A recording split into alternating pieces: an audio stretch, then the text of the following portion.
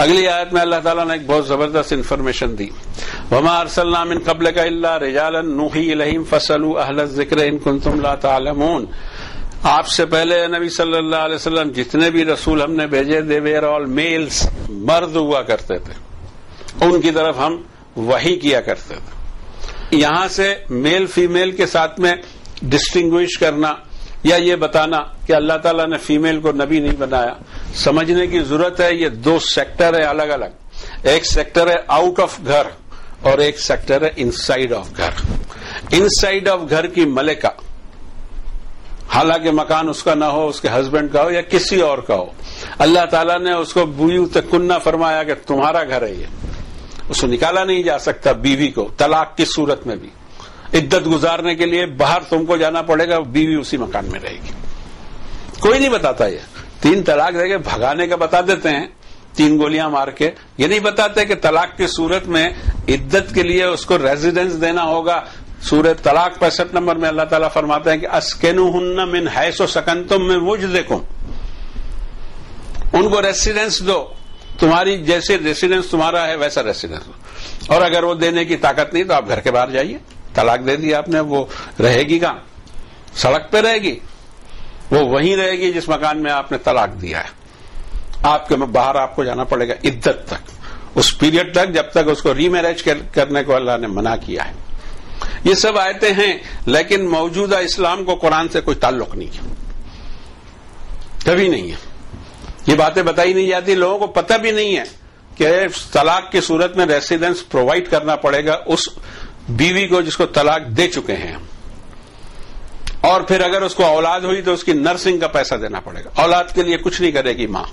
क्योंकि आपने तो तलाक दे दी। अब उसको कोई ज़िम्मेदारी नहीं है कि आपकी औलाद की परवरिश करे। और उसमें अगर डिलीवरी हुई तो सेम टाइम आपको डिलीवरी दे दे कि भाई ये आपका बच्चा आप संभालिए। उसके कोई ड्यूटी नहीं। लेकिन अगर आप चाहते हैं कि उससे नर्सिंग करवाएँ, उससे फीडिंग करवाएँ तो you have to pay the खर्चे। कौन से खर्चे माँ के भी खर्चे औलाद के भी खर्चे रेजिडेंस भी दवा दवा भी खाना पीना भी। और उसकी मैक्सिमम मुद्दत दो साल। किसी ने बताया औरतों को तीन तलाक देके भगा देते हैं। ना औरतों को मालूम है औरतों को जिस दिन ये कुरान शरीफ मालूम हो जाएगा ना तुम्हारी ये तलाके वाला के ऐसे नहीं चलेंगी। तीन गोलियाँ मार के चले जाते हो। सब सुधर जावे काम। बशर्ते कुरान शरीफ पर अमल हो। हाँ, कोई भी कानून कुरान शरीफ के खिलाफ दिखता है हर कानून। And I can prove this ये स्टडीड मामला है। रब ताला फरमाते हैं कि मर्दों को हमने रसूल बनाया। क्यों? इसलिए कि रिसालत या पैगाम को कन्वे करने के लिए घर के बाहर की आइटम है ये। और घर के बाहर की सारी आइटम अल्लाह ने मर्दों पर डाली है। जैसे कि पैसे कमाना, बाल बच्चों के लिए रोजी रोटी का इंतज़ाम करना, घर का इंतज़ाम करना, ये सारी की सारी जिम्मेदारियाँ अल्लाह ने डाली हैं मेल्स पर। और फीमेल पे सारी ज़िम्मेदारी डाली है घर की इंडस्ट्री को चलाना।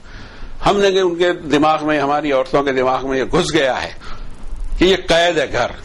घर कैद नहीं है, घर एक इंडस्ट्री है और दो दो काम करती, दो प्रोडक्शन है। एक तो प्रोडक्शन है उसमें आपके लिए खाना बनता, माल आता है कच्चा और पका के कंप्लीट करके प्रोसेस करके आपको परोसा जाता है। इसी तरीके से इंसान की नस्ल की मेंटेनेंस के लिए। उनकी तरक्की के लिए, उनकी परवरिश के लिए। इंसानी नस्ल को संभालने का काम ये कुछ छोटा काम नहीं और आप कर ही नहीं सकते। आप बिल्कुल नहीं कर सकते। एक दिन का बच्चा आपको दे दिया जाए, ऐसी परवरिश करो, कर लोगे? लेकिन एक लेडी कर लेती है। बहुत बड़ा काम है उसका। वो समझती नहीं है, वो इज़्ज़त का काम है। लेकिन उसको बताया गया कि नहीं, तू घर से बाहर निकल। अब घर से बाहर निकले तो क्या करें? तो बोले, कपड़े उतार सीधी सीधी बात। कम से कम कपड़े पहन, हमारी तस्कीन कर, हमारा इंटरटेनमेंट कर। इसके अलावा क्या काम लिया हमने औरतों से? और आज भी इतनी तरक्की पसंद दुनिया है। देख लीजिए आप, टेनिस खेलते हैं मर्द तो उनकी आस्तीन और उनके हाफ़ पैंट लंबी होती है। औरतों की हाफ़ पैंट हम लंबी रखने नहीं देते। क्यों? हमको देखना है। ये सोच बनी हुई है और औरतें भी नहीं समझ रही हैं। खास करके यूरोपियन औरतें नहीं समझ रही कि हमारा इस्तेमाल हो रहा है। भाई, जितने कपड़े मर्द पहनते हैं, उतने तो हम पहनने दो। ज़ीरो टेम्परेचर कभी कभी वहाँ रहता है यूरोप में। फाइव पीस सूट पहने रहते हैं मेल्स और औरत को फिर वो कम कपड़े पहनाते हैं। क्यों? इंटरटेनमेंट मुझे करना है। उसे बदन को देखकर खुश होना है। ये क्या तहजीब है? औरतों को समझना चाहिए कि हमारा मिसयूज हो रहा है, आज़ादी के नाम पर। और हमारा कार्य क्षेत्र था नहीं है। बाहर की सारी ज़िम्मेदारी अल्लाह ने मेल्स पे डाली थी। वो हमारा खाना, खर्चा, ये सब उठाना चाहिए था। हम क्यों सर्विस करें? जो करती है उसमें कोई एतराज़ नहीं कि वो अपनी फैमिली को सपोर्ट करती है, उनका एहसान है। इसलिए एहसान है कि उनकी ज़िम्मेदारी नहीं है, वो करती है। ज़िम्मेदारी मेल्स पर दी है अल्लाह ने। ठीक है हमारा काम है मुतवजह कर देना। जिसको समझना है, समझे, कुरान शरीफ पढ़े और अपने आप को सुधारे। अब अल्लाह ताला यहाँ पर फरमाते हैं कि अगर ये सिस्टम तुम्हें मालूम नहीं कि मेल्स को अल्लाह रसूल बनाते हैं और नूही इलहिम उन पर इंस्पायरेशन भेजते हैं, उन पर वही भेजते हैं रिविलेशन भेजते हैं फसलू अहल ज़िक्र इनकुन तुम लातालमू तुम जाके किसी समझदार से पूछ लो कि ऐसा होता है क्या? ये मसले पूछने वाली बात ही नहीं है। ये मसले बताने वाले इसको बुनियाद बनाते हैं कि फसलू आला ज़िक्र अल्लाह ने फरमाया कि समझदारों को पूछा करो। समझदार को अगर पूछना है मतलब उसको नहीं मालूम कि ऐसा सिस्टम दुनिया में है कि नहीं, ये पहले दिन से सिस्टम है और समझदारों से पूछ लो। अब आप देखिए, हमारे ही मुल्क में, हमारा मुल्क एक ऐसा मुल्क है कि दुनिया की हर चीज़ मिल जाती है। हमारे मुल्क में ऐसे मज़हब हैं like Hinduism Buddhism Jainism Sikhism और भी कुछ होंगे। कि उसमें नबी का कोई तस्वुर नहीं है, रसूल का कोई तस्वुर नहीं है और इंस्पायरेशन का कोई तस्वुर नहीं किताबें लिखी गई, लेकिन बड़ों ने लिखी है। ऊपर से उतरी हुई किताब के बारे में दावा नहीं होता। अगर होता भी है तो उसका प्रूफ नहीं रहता है कि भाई ये किस पर उतरी, कब उतरी, किन वर्डिंग्स में उतरी ओरिजिनल वर्डिंग क्या है, ये नहीं मिलता। दुनिया की इस वक्त तीन किताबें हैं जिसमें सिर्फ़ एक का ओरिजिनल वर्डिंग है, बाकी वो दो का तो फिर भी नहीं है। That is Bible gospel and the Torah the Torah and the gospel उसकी ओरिजिनल फिर नहीं है। लेकिन ओरिजिनल अगर है तो कुरान शरीफ की जो लास्ट रेविलेशन है, इसीलिए वो लास्ट है कि वो दुनिया में मौजूद रहेगा। इससे पहले हम किताबों को खो चुके हैं या बदल चुके हैं। लेकिन रब ताला फरमाते हैं कि ये जो ज़िक्र है, ये नसीहत नामा इन्ना नहनो नजल न ज़िक्र, व इन्ना लहू लहाफिजून। कयामत तक मैं इनकी वर्डिंग्स की हिफाजत करूँगा। ट्रांसलेशन एरर्स और कमेंट्री जो इधर से उधर की जा रही हो, उससे ऊपर उठकर एक इंसान को अगर समझना है तो ओरिजिनल वर्ड में समझे। जबान भी ज़िंदा रखी, पाँच हज़ार साल से अरबी जबान, एक वाहिद जबान है दुनिया की जो ज़िंदा है। कोई जबान ज़िंदा नहीं। हालाँकि इसे पुरानी जमाने में हो सकती है, संस्कृत और लैटिन मिट गई दुनिया से। अरबी मिटी नहीं है और कयामत तक नहीं मिटेगी। मिटाने की कोशिश भी करो तो नहीं मिटेगी, इसलिए कि अल्लाह ने अपना कलाम नाजिल किया है इसमें। और ये रहेगी। अब तुम जाके समझदारों से पूछो कि ऐसा कोई सिस्टम है कि मेल्स के ऊपर में अल्लाह वही भेजते हैं, उनको रसूल बनाते हैं, उनको नबी बनाते हैं?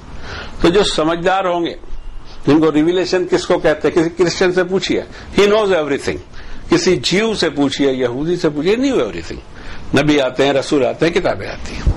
लेकिन इस सेक्टर में आप पूछेंगे, जो इंडियन हमारा सेक्टर है तो वहाँ उसका तस्वुर ही नहीं है।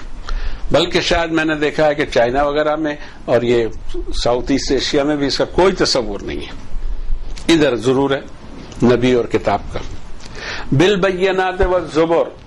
वो जो रसूल और नबी होते थे ओपन स्टेटमेंट और बुक्स ऑफ़ डिवाइन गाइडेंस के ऊपर अल्लाह उतारता था। और फिर फरमाया कि वंजलना का ज़िक्र तुबैना से मानुजिलहिम करून ए नबी वसल्लम, आप पर हमने ये रिमाइंडर इसको रिमाइंडर कहा अल्लाह ने कुरान को। इसलिए उतारा है कि आप इंसानों को बता दो, बयान कर दो कि उनके लिए क्या उतारा गया है। एक घर में रखने की चीज़ नहीं थी, मोहतरम। इस पर सदियों से काम नहीं हुआ। कुरान शरीफ को लपेटा जुजदान में, खूब चूमा। खुद समझने की ज़रूरत नहीं, दूसरों को पहुँचाने की ज़रूरत नहीं इसको ऊपर रख दो, बहुत एहतराम करो। बगैर वज़ू के छूना नहीं नहीं, ये करना नहीं। वो इतने कानून बना डालो अपने हाथ से।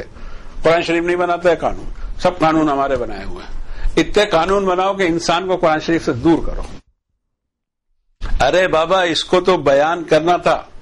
वही जखजल्लामीसाकल्लदीना ऊतुल किताब तुबैन्ना से वाला तक तुमूना जिन कौमों को मैंने किताब देता हूँ, उनसे मिसाक लेता हूँ कि ज़रूर भी, ज़रूर इसको तुम इंसानों पे बयान कर दोगे। मुसलमानों पे नहीं, इंसानों पे। यहाँ तो हालत यह है कि मुसलमान को नहीं पढ़ने देते। दस अड़चन है उसमें। चौदह उलूम चाहिए कुरान शरीफ पढ़ने को। किसने बोला? अल्लाह ने बोला? क्या आपने बोले? अब हमको ये फैसला करना पड़ेगा कि आपके हुक्म पे चलें कि अल्लाह के हुक्म पे चलें। अब हमारा फैसला ये है साफ़ साफ़ के हम अल्लाह के हुक्म पे चलेंगे, आपके हुक्म पे बिल्कुल नहीं चलेंगे। किसी सूरत में नहीं चलेंगे। इंसानों को पहुंचाना था। इंसान चाहे हिंदू, मुस्लिम, सिख, ईसाई, कुछ भी हो तो हमको छप्पन मसाइल बताए जाते हैं। कैसे पहुंचाएँगे, वो बावजू है। अरे, क्या बावजू होगा, उसको ईमान ही नहीं है। कुछ भी हो वो। हमें उसको पैगाम पहुंचाना है जो अल्लाह ने ये अमानत हमारे यहाँ रखी और ये जो आप एपिसोड्स देख रहे हैं, सिर्फ़ यही काम करते हैं। हमने कोई किताब की बात नहीं की। अल्हम्दुलिल्लाह, हम सिर्फ़ इस किताब की बात करते हैं। और अल्लाह ताला फरमाते कि तुबैना से बड़ा तक तुम छुपाना मत मेरी किताब को। और हमने माशाल्लाह वही काम किया कि अल्लाह की किताब को छुपा दिया, अपनी किताब चला दी। अब कोई पूछेगा, बाबा, ये आपकी किताब ने इसमें कुरान, हदीस सब है। ये हमारा इतने मजमुआ है। सब हमने मिला। ये, ये आपके लिए काफ़ी हो जाएगा। अल्लाह की किताब काफ़ी नहीं होगी। उसका दूसरा मतलब ये निकलता है। शर्माए वो लोग अपने गरेबान में जाके अल्लाह को जवाब दे सकेंगे? अल्लाह की किताब पर अपनी किताब रख दी। जवाब दे सकेंगे? देंगे ठीक है। उनके अमाल उनके साथ हमें उसकी चिंता नहीं है। हम कभी अल्लाह की किताब को नहीं छुपा। ज़िंदगी भर इंशाला इसको पहुंचाते रहेंगे। इंशाला अमिन मकरसई आते मिन हैसुलाशोरू क्या इंश्योर्ड हो गए या अमन में आ गए या बेफिक्रे हो गए अफा अमीना के कई तर्जुमे हो सकते हैं जो बुरी चालें चलते हैं अल्लाह की किताब से लोगों को रोकते हैं कोई अच्छी चाल नहीं है कि यकसफ अल्लाह बेहमुल अल्लाह ज़मीन को ही धसा दे उनके साथ और याती अमुल अजाब मिन हैसुला या शोरून या ऐसी जगह से अल्लाह का अजाब आए कि उसका ध्यान ही ना हो, पता ही ना हो, होश ही ना हो। और ऐसे ही आते हैं मोहतरम। आज हमारी छोटी सी उम्र में हमने देखा है, जो जलजले, सुनामी या दूसरी चीज़ें आती हैं, सैलाब आ रहे हैं अभी, मानसून का मौसम। अचानक अचानक कहीं लैंडस्लाइड हो गया, अचानक कहीं बस्ट हो गए बादल। नोटिस आती है कभी? नो और ये इंसानों की हरकतों की वजह से होता है। हमा कान अल्लाह वलाकिन कानू अनफुसम यजलम अल्लाह किसी का नुकसान चाहता नहीं अपनी मखलूक का। ये तो इंसान है कि अब इतने गुनाह करते हैं कि अपने नुकसान पर आमादा रहते हैं। कोई फ़िक्र नहीं उनको। दुनिया बकटट दौड़ी चले जा रही है। है किसी को फ़िक्र के जा कहाँ रहे किसी चौराहे पे खड़े हो जाइए, चारों तरफ़ से लोग गाड़ियाँ भगाते हुए चले जा रहे हैं। कहा जा रहे हैं? ईस्ट में, वेस्ट में, साउथ में, नॉर्थ में नहीं, अपनी मौत की तरफ़ जा रहे हैं सब। चाहे वो ईस्ट वेस्ट आपको दिख रहा हो हकीकत में एक ही मंजिल है हर इंसान की, कि घड़ी के सेकंड के साथ साथ वो मौत की तरफ़ जा रहा है और कहीं नहीं जा रहा। और या खुजाउम फ़ी तकल्लुबहिम फमा हम बे मोजीन या अल्लाह का अजाब उन पर ऐसे वक्त आ जाए कि वो मसरूफ हों और फिर वो भाग न सके। अजाब को रोक न सके, टाल न सके। और या खुजाउम अला तखवफ खौफ हो रहा हो कि भाई ये बादल आए हैं, ये ऐसा हो रहा है, वो वैसा हो रहा है, और अचानक आ जाए। और या खुजाहम अल्लाह तखवफ फ़ैन रब कुम रहीम। तुम समझते क्यों नहीं हो कि तुम्हारा रब बड़ी शफकत वाला। तुम्हारी हर ज़रूरत को पूरी करता है। जरा देखो तो सही। इतने इंसान उसने पैदा किए, उतना अनाज भी पैदा करता है तो कम बात है ये। और सिर्फ़ हम नहीं, बल्कि हमारे पेट के वायरस को भी गजा पहुंचाता है। मच्छरों को, मक्खियों को, जानवरों को, हर चीज़ को वो उसकी गजा पहुंचाता है। इतना शफकत वाला, इतना रहम वाला रब इसको पहचाना नहीं। अवलम यरो इलामा खलक अल्लाह मिन यतफय्यु जिलालहु अनिल यमीन व शमाइल सुजदल्लिल्लाह व हम दाखिरून। क्या तुमने देखा नहीं? गौर नहीं किया? अल्लाह ने जितनी भी चीज़ें पैदा की, उनके साए, दाएँ और बाएँ अल्लाह के सामने सबमिट है। यहाँ जो सज्जा है, ये हमारे सज्जे जैसा नहीं, झुके हुए हैं फर्मा बरदार है। बो डाउन है उसके सामने। किसी झाड़ को देखा आपने कि अल्लाह की नाफरमानी करा। किसी जानवर को देखा कि कभी शिरक किया हो। यस डरता है वो किसी से? जानवर नहीं डरता। जानवर सिर्फ़ अपने अपने, अपने रब से डरता है। और हम हैं कि अपने रब से नहीं डरते बाकी सब चीज़ों से डरते हैं। पत्थरों से कब्रों से झाड़ों से पहाड़ों से। सब चीज़ से जिससे डर लगे बस सज्जा कर लो। सर झुका दो। अरे बाबा इससे डरते क्या हो? उससे डरो। जिसने इसको बनाया है। वलिल्ला है माफिस समावात माफिल वल अल्लाह के लिए सबमिट है, टोटली सरेंडर है। जो कोई मखलूक हो, चाहे आसमानों में, चाहे ज़मीन में, ये तो आप आसमान को भी नहीं देख सके अभी। सूरज को भी देखना मुश्किल है, जनाब। अब हम समझते क्या है कि छोटा सा बॉल है ये, ज़मीन। उस पर मैं इतना इतरा रहे हैं। उसमें थोड़ी सी जगह अल्लाह ने दी है। आपका मकान के, आपकी हुकूमत के, आपकी सल्तनत के, आपका वतन। और उस पर इतराना। शुक्र अदा करना चाहिए। हम भी शुक्र अदा करते हैं कि अल्लाह ने हमको हिंदुस्तान जैसे मुल्क में पैदा किया। लेकिन इबादत नहीं करते। बेवफाई भी नहीं करते। नमक हरामी भी नहीं करते। शुक्र अल्लाह का, कोशिश ये करते हैं कि ऐसा होना चाहिए। और जो कोई मूविंग क्रीचर्स हैं इन सारी चीज़ों में, हमको मालूम क्या है, हमको कुछ भी नहीं होना अभी चाँद पर गए तो वहाँ हमको धूल मिली। और अब मार्स पे जा रहे हैं, वहाँ पर भी कुछ अभी तक तो कोई चीज़ क्लियर नहीं है। कि कोई एलियन मखलूक भी है क्या? है मखलूक। मेरा ख्याल है कि लेकिन हमारी पहुँच से बाहर है। मुझे ऐसा ख्याल है। और आखिरी आयत में जिस पर सज्जा है, फरमाया कि सारे के सारी मखलूक और फरिश्तों जैसी मखलूक, महीन और ये बहुत ज़्यादा ताकतवर है और अल्लाह ताला बहुत सारे उनके ड्यूटीज़ लगा रखे हैं। और मूविंग क्रीचर्स भी डरते रहते हैं अपने रब से, अपने पालनहार से। हमको जो पाल रहा है उससे हम डरते ही नहीं। Because we think that we deserve it हम कुछ भी डिजर्व नहीं करते, सिर्फ़ और सिर्फ़ हमारे रब की मेहरबानी है। और जो हुक्म दिया जाता है, उसकी पाबंदी करते हैं। हमको एक छोटा सा हुक्म दिया, छोटा सा। सिन फ्री दिल लेके आना और मेरे सिवा किसी को इबादत नहीं करना, किसी की वर्शिप नहीं करना। इतना नहीं हुआ। इससे ज़्यादा मांगा ही नहीं अल्लाह ने। बहुत छोटी सी मांग है। इतना भी अगर हमसे ना हो, हमारे रब को छोड़कर दूसरों के सामने झुकते रहे, हम। पूजा करते रहे, दुआएँ करते रहे, मुरादे मांगते रहे। मना किया है सब चीज़ से कि सिर्फ़ मुझसे मांग उदूर अब्बकम तदर खुफिया। अभी जहाँ रमज़ान की आयतें आई रोजों की, उसके बीच में अल्लाह ताला ने फरमाया वैजा साल का इबादी अन्नी फन्नी करीब। मेरा बंदा पूछे ना कि अल्लाह कहाँ है, इसका एड्रेस तो बताओ। तो उसको बोलना कि मैं बहुत करीब हूँ वो दावत दान। दुआ अगर मुझसे किया है तो मैं उसकी जवाब दूँगा ही। फलस्तजी बोली वलियू मेनू भी लाल यरशदू इंसान का काम यह है कि वो रिस्पॉन्सिव बना रहे मेरे हुक्म को और मुझ पर ईमान और भरोसा रखे और मेरे साथ ईमानदार रहे। नवाज़ दूँगा मैं। मगर मुश्किल यह है कि ये नहीं होता। सैकड़ों चीज़ें, बेशुमार चीज़ों की इबादत हम करेंगे और बेशुमार जाके अपने जगह पे जाके अपने सर पटकेंगे, मुरादे मांगेंगे, धागे, वागे, अल्लाह जाने क्या क्या करते रहते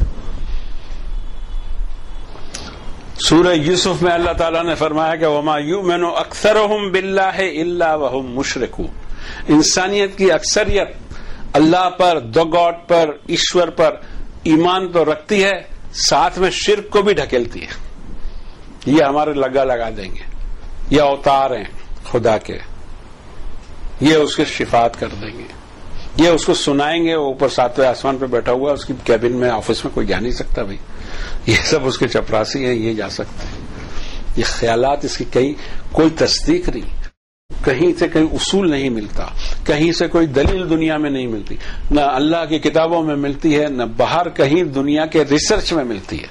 दुनिया इतनी आगे बढ़ गई, चाँद पे पहुँच गई, रिज़ल्ट ये है कि एक सुपर पावर है, बाकी कुछ नहीं। रिज़ल्ट तो वही आया, जो कुरान कहता है। तो इस सुपर पावर को झुक नहीं जाना चाहिए था। ये एक ही काम नहीं होता और ये काम हो जावे तो इनशाला आखरत की ज़िंदगी सुधर जाए। अल्लाह हमको बचा ले शिरक से। अल्लाह ताला सही रास्तों पे चलाए। वसल्ला नबी करीम। अलहमदिल्ला